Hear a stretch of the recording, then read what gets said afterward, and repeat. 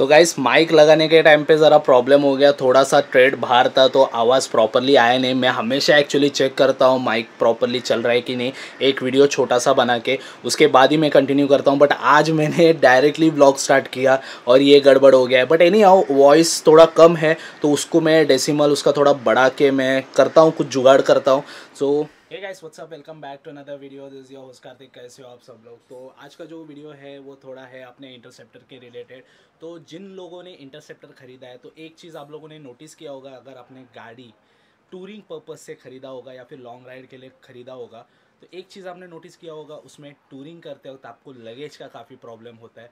तो उस चीज़ का अपन ने सोल्यूशन लाया. वैसे तो काफ़ी सोल्यूशन है मार्केट में बट सबसे फ़ेमस जो है वो है जाना का टॉप रैक टाइटल से तो आपने गेस आउट किया होगा, मैंने टॉप रैक ऑर्डर किया है जाना का, जो कि है एल्यूमिनियम प्लेट के साथ। तो देखते चेकआउट करते ये आज ही आया है पैकेज सो प्रोडक्ट के रिलेटेड मैं लास्ट में आपको बताता हूँ कि कहाँ से आपको ऑर्डर करना चाहिए और कहाँ से खरीदना चाहिए अगर आप देख रहे हो परचेज करने के लिए। सो पहले अनबॉक्सिंग करते फिर आगे का देखते सो पैकेज कुछ इस तरीके से आया है, काफ़ी बड़ा है बट हल्का है थोड़ा, ज़्यादा बड़ा ये भी नहीं है, वज़न नहीं है। जब मैंने उठाया तो मुझे लगा कि थोड़ा वेट रहेगा बट नहीं था वेट तो एनी हाउ मैंने पैकेज खोला नहीं है तो देखते हैं। थोड़ा बहुत यहाँ पे शायद से डैमेज हुआ है। वो बारिश के वजह से क्रैक आया रहेगा। तो ओपन करते हैं पहले।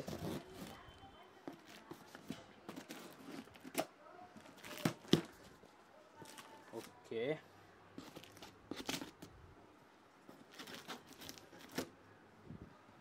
पैकेजिंग एकदम अच्छा है बट कार्डबोर्ड मतलब जो है ना, एकदम नरम पड़ गया है। बारिश की वजह से शायद से गीला विला होके हो गया रहेगा, नरम। Okay so here is the top rack ये है जाना की तरफ़ से कुछ letter thank you for choosing Zana एक कीचेन दिया है जाना का.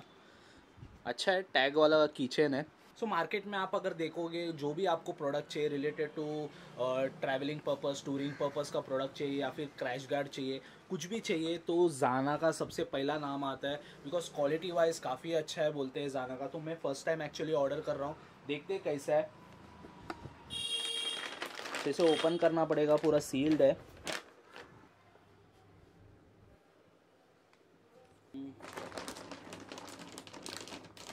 थोड़ा ओपन है ओके पूरा वन पीस में है ये। तो एक अच्छी चीज़ है। तो पहले यहाँ पे मैं सेटअप कर लेता हूँ। ओके जो भी का स्टैंड का यही एक खासियत है कि कहीं पे भी आप सेटअप कर सकते हो प्रॉपरली तो मैं आपको टॉप रैक दिखाता हूँ। कुछ इस तरीके से आया है पैकिंग होके तो इसे ओपन करता हूँ मैं। और जहाँ तक मैंने प्रीवियस वाला सब वीडियोस देखा था, उसमें हमें खुद से असेंबल करना पड़ता था टॉप रैक को। बट इसमें पूरा फिटिंग होके आया है। वो एक अच्छी बात है बिकॉज़ मैं वही सोच के मतलब सब ये सब निकाला बाहर, मेरा एलन की सब निकाला। लगा कि मुझे खुद से असेंबल करना पड़ेगा प्लेट्स एंड ऑल ज़बरदस्त है यार, एक नंबर है टॉप रैक मतलब पाउडर कोटिंग है इसमें पूरा। और यहाँ पे दो जो ऑप्शन है वो अगर आप फ्यूचर में बैक रेस्ट आपको चाहिए रहेगा तो आपको अलग से परचेस करना पड़ेगा जिसका अराउंड नाइन हंड्रेड रुपीज़ है। सो so, मुझे ऐसा लगा नहीं कि मुझे परचेस करना चाहिए बिकॉज़ इन नियर फ्यूचर मैं प्लान कर रहा हूँ कि एक टॉप बॉक्स लेने का तो वो सोच के मैंने ये परचेज नहीं किया। अब देखते हैं बिकॉज़ टॉप बॉक्स में कैसे आप बैक रेस्ट की तरह भी टॉप बॉक्स को यूज़ कर सकते हो। सॉरी कुत्ता अगर बाहर से भोक रहा होगा तो। बट कोटिंग काफ़ी अच्छा है।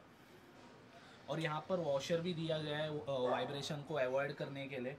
एंड ये ऑलरेडी फिट होके ही आया है प्लेट तो यहाँ पे देखो, यहाँ पे दो जो स्लॉट्स है, ये बंजी कॉर्ड के लिए। बंजी कॉर्ड अगर आपको अटकाने का रहेगा वगैरह तो उसके लिए है। And apart from that quality wise अगर मैं बोलने जाऊँगा तो ज़बरदस्त है। उसके अलावा और एक जो चीज़ है जो आया है इनके साथ, ये है लॉकेट सो बेसिकली आप जब भी नट बोल्ट खोलते हो गाड़ी का, अभी मैं जो खोलने वाला हूँ पीछे गाड़ी का, वो खोलने के बाद वापस से फिटिंग करते वक्त इसे उसमें लगाना चाहिए तो कैसे एकदम परफेक्टली बैठेगा।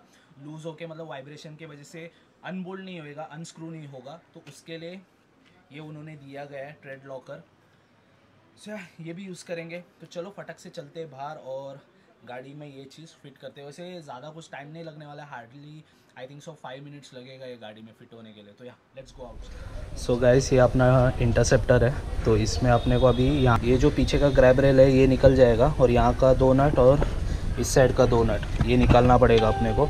जैसे कि आप देख सकते हो, यहाँ पे मैं मोबाइल में एक्चुअली देख रहा हूँ। फ़र्स्ट टाइम एक्चुअली मैं चेस्ट माउंट किया है इसके लिए। सो या लेट गेट स्टार्टेड यहाँ का दोनों का नट निकालो।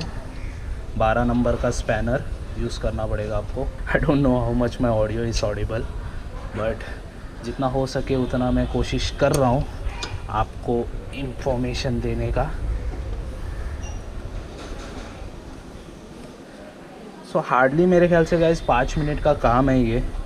ज़्यादा टाइम नहीं लगेगा इसको। इतना आ, क्या बोलता है? डी आई वाई लेवल है ना? एकदम इजी लेवल है इसका। इतना कुछ मगजमारी है ही नहीं पहली बात तो।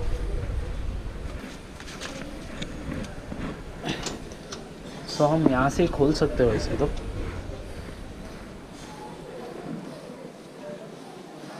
तो वहाँ पे प्रॉब्लम क्या है? वहाँ पे साड़ी गार्ड है ना तो वहाँ से स्पैनर अपन डाल नहीं सकते। तो इसके लिए ज़रा प्रॉब्लम हो रहा है। बट ठीक है। स्मार्टली ज़रा वर्क करेंगे तो हो जाएगा। ज़्यादा मेहनत करने की ज़रूरत नहीं है। और एक चीज़ मैं बोलना चाहूँगा बारिश के वक्त है ना यार गाड़ी निकाला करो। नहीं तो है ना जाम होने का ज़्यादा चांसेस होता है। ऐसा है इंटरसेप्टर में क्रोम ज़्यादा है ना बॉस तो क्रोम की वजह से लफड़ा होता है। अगर आपने ज़्यादा मतलब मूवमेंट नहीं रखा गाड़ी का तो रस्टिंग होने का ज़्यादा चांसेस रहता है। क्रोम का वही प्रॉब्लम रहता है। ओके okay, सो so ये ग्रैब रेल है अपना स्टॉक ग्रैब रेल वो सारी गार्ड वहाँ पे गिर गया है। तो ये लगाने की बारी आ चुकी है।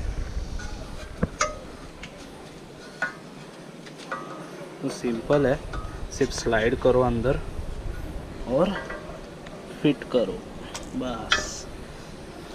सो so, जैसा मैंने बताया आपको लगाने से पहले अपने को नट में ये लॉकेट लगाना पड़ेगा। उसके बाद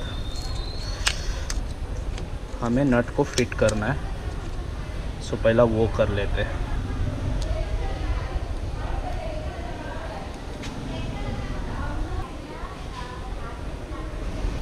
थोड़ा सा ऐसा थ्रेडिंग पे लगाओ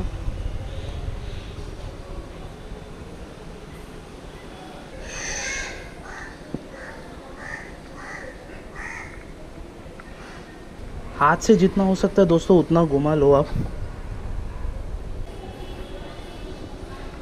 दूसरा स्क्रू लो। ये जो स्क्रू है, ये भी यहाँ पर फिट कर दो।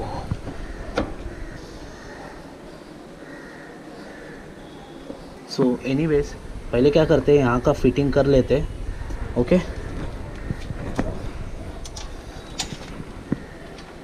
सो जितना हो सके उतना ही टॉर्क वापरो। एकदम भी ज़्यादा ये मत करो, नहीं तो ट्रेड स्लिप होने का ज़्यादा चांसेस है।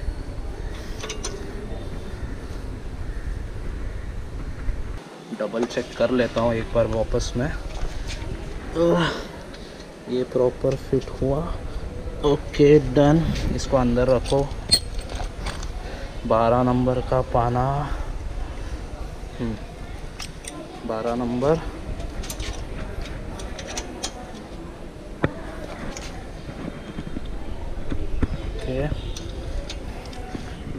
Okay.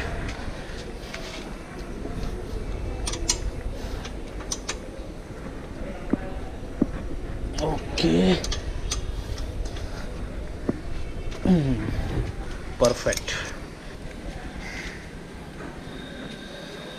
So guys, this is how my bike looks.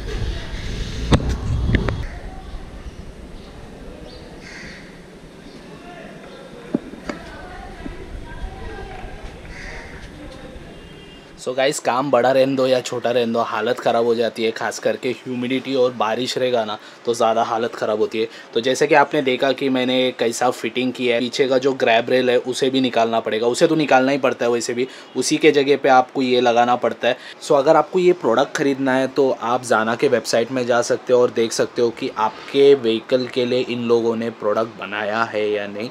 And उसके अलावा अगर आपको इसका ऑनलाइन परचेज़ करना है तो उनके वेबसाइट वेबसाइट से आप परचेस कर सकते हो। एक चीज़ मैं आपको बोलना चाहूँगा कि इन लोग जो डिस्पैच का जो डेट रहता है, इनका काफ़ी लंबा रहता है। अगर अर्जेंसी में आपको मंगता रहेगा कोई भी प्रोडक्ट और आप ऑनलाइन परचेस करने को देख रहे हो तो आपको गिवन टाइम में आ नहीं सकता बिकॉज़ इन लोग स्ट्रेट फॉरवर्ड सामने से बोलते हैं कि फाइव टू सिक्स डेज़ लगेगा डिस्पैच करने के लिए। जबकि कुरियर जो है, वो फटक से मतलब पहुँच गया था ऑलमोस्ट दो तीन दिन में पहुँच गया था बिकॉज़ दिल्ली से यहाँ पर लाना है तो यार थोड़ा तो टाइम लगेगा। बट डिस्पैच करना वो मेन बात है। मैंने लास्ट वीक में ऑर्डर प्लेस किया था I think so on Thursday I place the order और थर्सडे फ्राइडे सैटरडे संडे तो होता नहीं है, उन लोग ने लिखा हुआ है। एंड आई थिंक मतलब ये वीक में वेडनसडे के दिन में प्रोडक्ट डिस्पैच हुआ और आज तो क्या है सैटरडे है तो सैटरडे पहुँच भी गया प्रोडक्ट एक ही मैं वही सजेशन देना चाहता हूँ, अगर आपको अर्जेंट बेसिस पे चाहिए तो आप उनके वेबसाइट में देखें नियर बाय उनके ऑफिशियल पार्टनर्स कौन है, जो लोग उनके प्रोडक्ट्स रखते हैं। अगर आपके नियर बाय रहेंगे तो आप जाके परचेज कर सकते हो, और एल्स आपको ऑनलाइन ही जाना पड़ेगा और दूसरा कोई ऑप्शन नहीं है। तो ये चीज़ मेरे को आपको मैंशन करना था। उसके अलावा प्रोडक्ट का जो प्राइसिंग है, वो सब वेबसाइट में आप देख सकते हो, आपके रिक्वायरमेंट के हिसाब से। सो एनी वेज आपको अगर ये वीडियो पसंद आया तो डेफिनेटली लाइक करो शेयर शेयर करो आपको दोस्तों के साथ, जिनके पास इंटरसेप्टर है, और कमेंट करो अगर आपके पास कोई क्वेरीज है या फिर कुछ आपको लग रहा है कि ये सही है, ये गलत है, कुछ भी रहेगा तो आप कमेंट सेक्शन में कमेंट कर सकते हो। अगर आप नए हो इस चैनल में तो सब्सक्राइब करो बिकॉज़ अभी मोटो ब्लॉग्स भी बहुत ही जल्द आने वाले अपना कैमरा का तो पूरा रेडी है। गोप्रो ऑलमोस्ट रेडी हो चुका है। तो गोप्रो से ही एक्चुअली मैं बाहर का फुटेज शूट किया। थोड़ा बहुत गड़बड़ हो गया रहेगा तो संभाल लेना बिकॉज़ कैसा है कि पहली बार मैं चेस्ट माउंट किया था। तो उस हिसाब से मतलब मैं कर रहा था व्लॉग और क्या माइक भी कुछ लगाया नहीं था। इंटरनल माइक जो है गोप्रो का उससे ही काम चला लिया। So yeah guys thank you for being part of this vlog see you soon on the next video till then stay safe bye